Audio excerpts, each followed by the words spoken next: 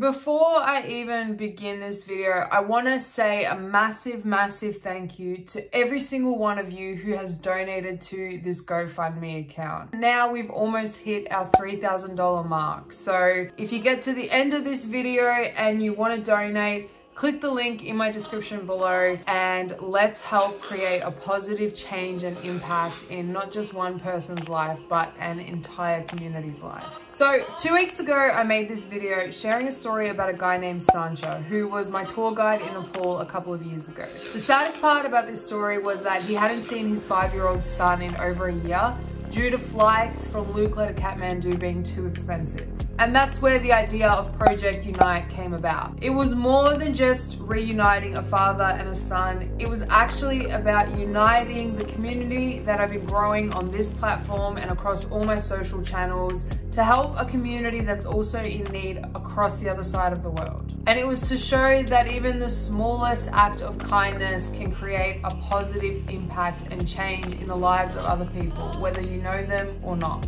So phase two of Project Unite was to physically and mentally challenge myself and bring someone along for the ride who wanted to push themselves out of their comfort zones. And the unlucky friend who said yes to this one was my friend Alicia. I've got an idea. Okay, of course you do. Now, going into this challenge, I really, really, really, really underestimated how challenging it was actually going to be. And like all challenges, when you're faced with a crossroads and you have to decide, you know what? I'm just gonna, I'm just gonna actually let you watch this video to see what happens. You look nervous.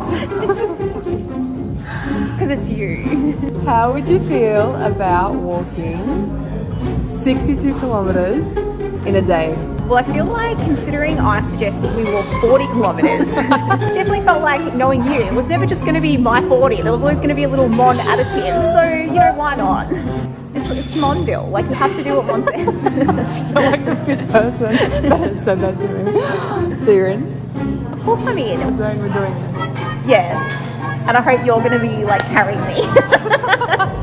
She's in, ladies and gents. She's in. She's Did in. I have a choice? No, you're in. All right, sick. We're doing it. So this is just me as a person.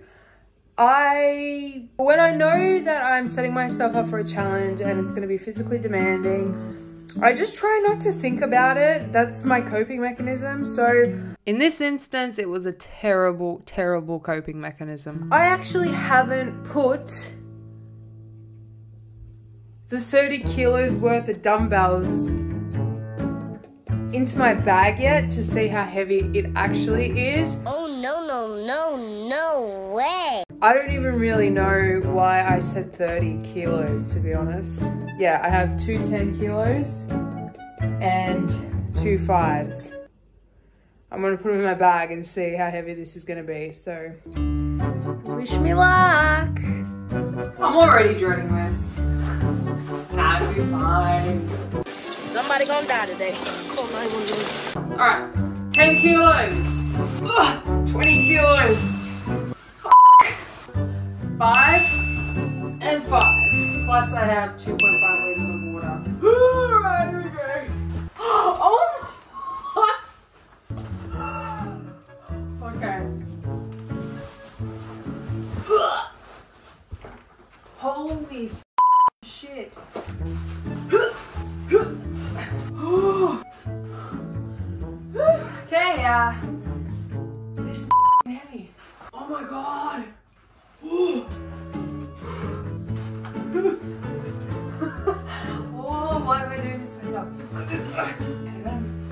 Alright, it's just gonna come off once it's on. That's the trick. I am huffing and puffing right now. Don't try this at home. Probs just wouldn't recommend, to be honest. I might just go, no. okay. Oh my lord! Wait, if we have to go up hills. How did I not think there would be hills? I'm sweet. Oof. Okay. It's gonna be a challenge, but I signed up for this. And uh, yep, let's see how we go tomorrow. It's currently 4 a.m. I'm driving to where we're starting this walk down in Torquay. So this is gonna be fun. It's gonna be interesting. I'm as ready as I'm ever gonna be for a walk. I just hope my blisters on my foot hold up. But we got this. We got this. We got this. 62k walk. Easy. Pretty easy breezy. How are you feeling? Uh, just a merry, just a merry morning here.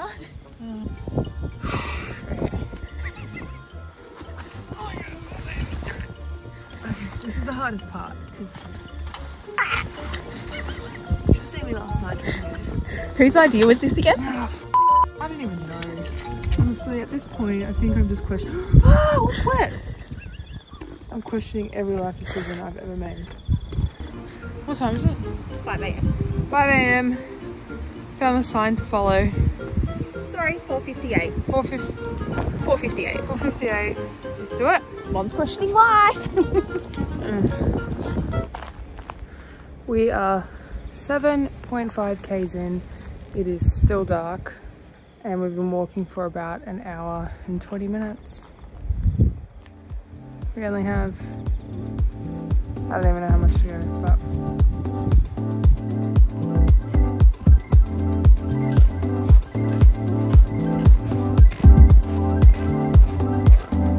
Hey, traveling. Woo. Fucking loving it. We're 10 k's in now. Oh my god, I'm dripping in sweat. Those hills, man. If we have to go up hills, those hills, Yeah. it feels like we're in a drier Everest.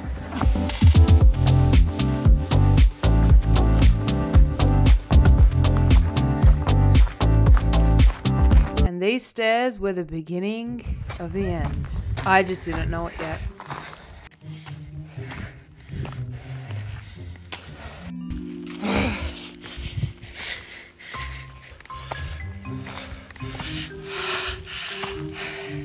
Mind over matter.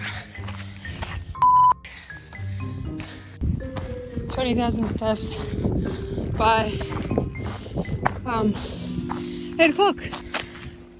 We're three hours in and we've knocked off 15 Ks. How you going? Just, you know, living my dream. Aren't we all? Son of a... Although the views are beautiful. I'm glad one of us wasn't dying. See, this is why you don't plan for shit like this. Because when this happens, you just go through it. You don't put yourself through the same stress twice. You just... mon, mon, mon. Just roll with it. Oh, this is um, really hard. How are you feeling? Oh, you know, I'm 30 kilos lighter, so I can't complain. 21 k's in and I feel so sick. I feel like I'm gonna vomit. I don't know why, but I just feel ill. It is getting very, very hard at the moment. Ooh. By this point, I was physically exhausted. I felt so sick. I couldn't eat anything and I couldn't drink anything. And well, I made a realization in the process. This dumbass can't do math. 62 kilometers in a day is ludicrous. I highly don't recommend. Do not recommend. Are you regretting this decision? I'm regretting every life decision up until this point, but you know, we're here now.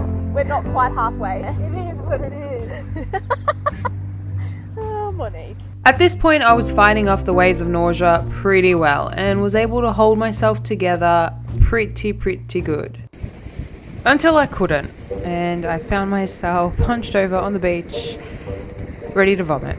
Alicia will be taking one for the team and continuing this walk while all mate goes and vomits. And I've cracked my phone. Oh, shit happens. You got this. Let's hope so. No, you got it. Oh my god. So I've been feeling sick. I've the whole the whole issue I had was I just felt like I had to vomit. I walked up the stairs. I took a sip of my Powerade and straight away just started projectile vomiting. This guy in that car saw me vomiting and runs over and asked if I need an ambulance, but honestly at this point I think I do. Oh my god, I don't know what's happening to me. Kids, don't try this at home. To be fair, it would have been okay if I didn't carry weight. I think it was the weight that absolutely gassed me way too quickly in the beginning and I just never recovered from it.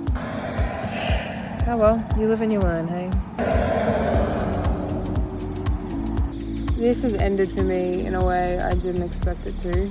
I made it to halfway and my body just gave up on me. I don't even I don't even know what happened. I couldn't even sit here and explain how quickly it happened. It just completely shut down and I am now sitting here. I don't even know where I am right now, but I'm waiting for James to come and get me and take me home because I've thrown up twice now and it is what it is, hey.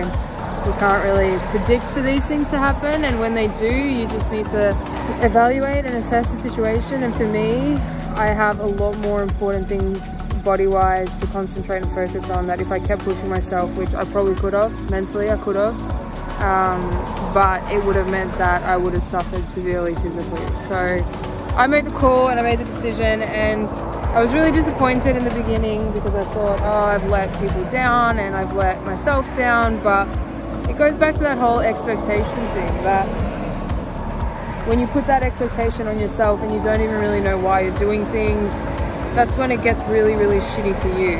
If I could have kept going, I would have kept going. But physically, I just, just wasn't my day today, which is fine because Alicia's taking one for the team and it's a good lesson. It's a good lesson in trusting yourself and trusting and knowing your body. And it's also a good lesson in, you know, you don't really fail if you learn from things and I've learned a lot.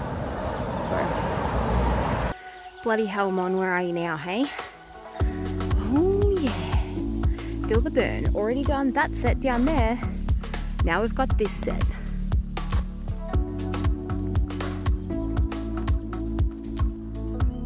so I'm at Bells Beach I think it's about eight kilometers left. God, I hope so. It needs to be under 10, I tell you. Gonna head on back to the car. Thank God. My feet are killing. Oh God, less than a kilometre to go. Really digging deep. In quite a lot of freaking pain. Come on, people. Nearly there. Fucking did it. All 62 kilometres. And God, am I feeling them. Ooh, yeah. Thanks, guys, for all your support. I got there.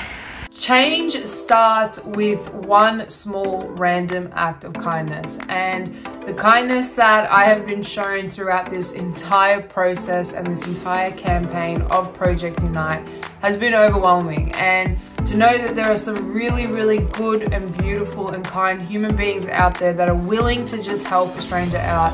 It honestly warms my heart. So thank you for making it to the end of this video. And like I said in the beginning if you want to donate even if it's small change like $5 or $10, the link is in my description below. The GoFundMe campaign actually ends on March the 28th when we get to call Sancha and let him know that we've managed to raise the $3,000 to help him be reunited with his son and also help his small community in Whitworth.